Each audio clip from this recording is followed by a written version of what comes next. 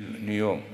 And thanks to the vision of His Royal Highness the Crown Prince, Prince Mohammed, look at how much we're compared with the others. We're actually the biggest producer of hydrogen. People talk about hydrogen. People talk a lot about green hydrogen. Show me who has that capacity being already executed. Show me who is willing to say, we're ready. We're ready to export clean hydrogen, green hydrogen. Have people here in Aramco, in Sabic, they're touring everywhere in planet Earth marketing hydrogen. Still have some capacity to sell.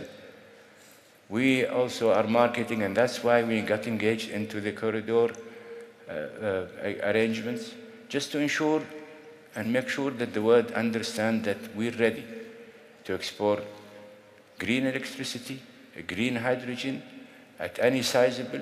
Trust us and test us if you want.